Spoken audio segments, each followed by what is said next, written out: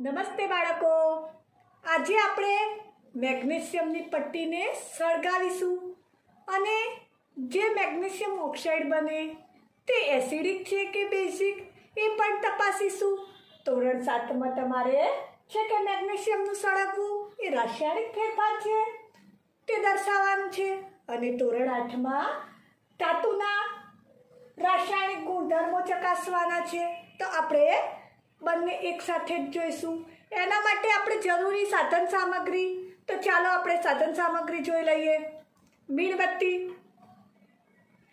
કાતર, મેગ્નેશિયમની પટ્ટી ચીપીઓ કાટ પેપર લીટમસ પત્ર પૂરું લીટમસ પત્ર, લાલ લીટમસ પત્ર, કસનળી કસનળી સ્ટેન્ડ લીધું છે.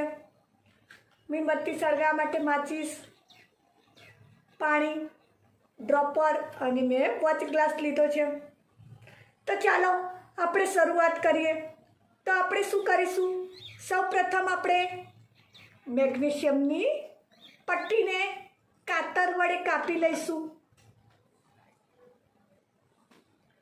થોડી આપણે મેગ્નેશિયમની પટ્ટી લઈશું અને એને કાપી લઈશું.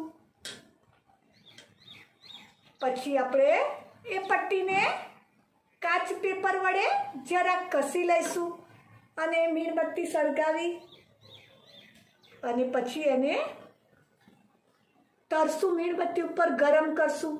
તો આપણે એને છેડેથી કાચ પેપર વડે કસી લઈએ જરાક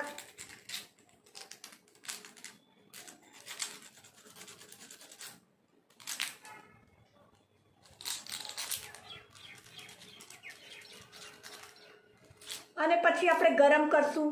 જો ના સળગે તો આપણે મીણબત્તી ઉપર ગરમ કરશું. ત્યારે જો ના સળગે તો કાતર વડે જરાક કાપો પાડી દઈશું.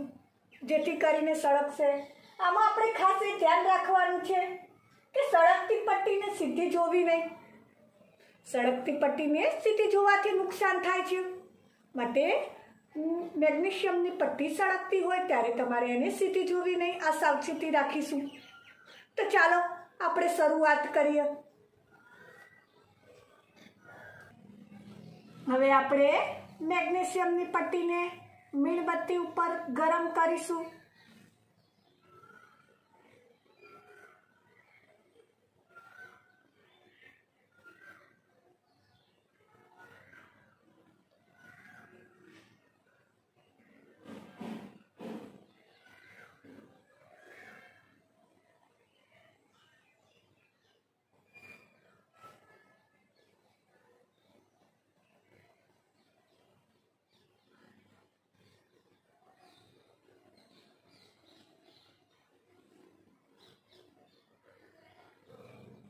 તમે જોઈ શકો છો કે મેગ્નેશિયમની પટ્ટી એકદમ તેજસ્વી સફેદ પ્રકાશથી સળગી ગઈ. અને આપણે સીધું ના જોવાય. હવે આપણે આ રાખ કસનળીમાં લઈ લઈશું અને એના રાસાયણિક ગુણધર્મો ચકાસીશું. તો રાખ આપણે કસનળીમાં લઈ લીધી છે. હવે એમાં પાણી નાખીશું. ડ્રોપરથી હવે આપણે આ મેગ્નેશિયમની રાખમાં ડ્રોપરથી થોડું પાણી નાખી અને પાણીમાં ઓગાળી દઈશું.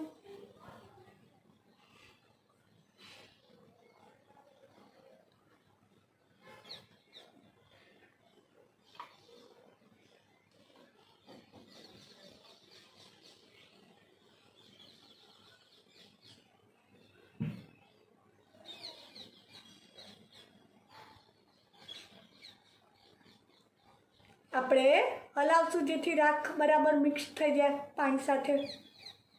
અને પછી આપણે એની પ્રકૃતિ ચકાસીશું. એસિડિક છે કે બેઝિક મિશ્રણ તૈયાર થઈ જાય એટલે આપણે વોચ ગ્લાસમાં લઈ લઈશું.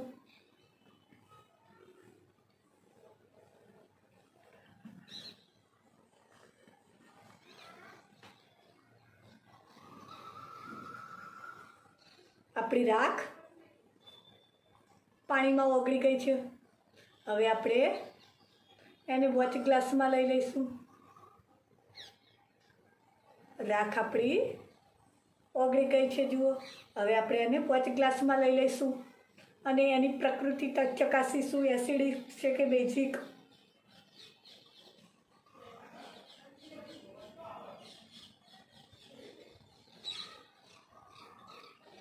હવે આપણે લિટમસ પત્ર અને લાલ લિટમસ પત્ર લઈશું. તો આપણે પહેલાં પૂરું લિટમસ પત્ર લઈએ અને જોઈએ કે પૂરા લિટમસ પત્રમાં શું ફેરફાર થાય છે. તમે જોઈ શકો છો કે પૂરું લિટમસ પત્ર કોઈ રંગ પરિવર્તન દર્શાવતું નથી. હવે આપણે લાલ લિટમસ પત્ર લઈશું. ચલો હવે આપણે લાલ લિટમસની કસોટી તપાસીએ.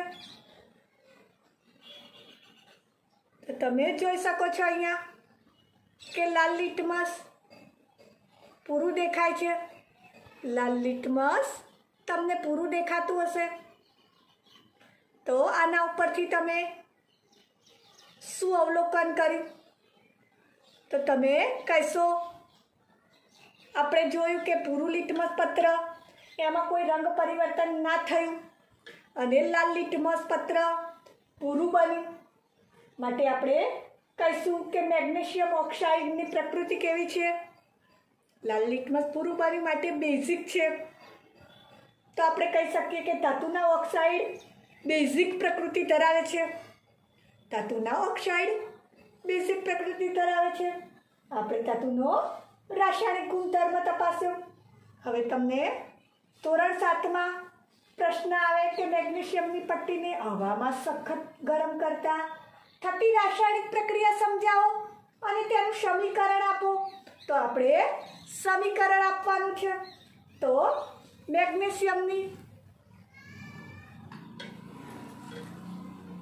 મેગ્નેશિયમ ધાતુની ઓક્સિજન સાથે પ્રક્રિયા થવાથી મેગ્નેશિયમ ઓક્સાઇડ મળે છે. તો આપણે રાસાયણિક સમીકરણ આ રીતે લખીશું. અને એને સમજાવવું હોય તો સમજાવી શકીએ કે મેગ્નેશિયમને હવામાં ના ઓક્સિજન સાથે સંયોજાય કે મેગ્નેશિયમ ઓક્સાઇડ નામનો સફેદ પદાર્થ રાખ જે આપણે જોઈ, એ રાખ બનાવે છે. તો આ રીતે તમે રાસાયણિક સમીકરણ પણ લખી શકો. તમારે ધોરણ સાતમાં અને આઠમાં બંનેમાં આવે છે. સાતમાં સમીકરણ આવે છે અને આઠમાં રાસાયણિક ગુણધર્મો આવે છે.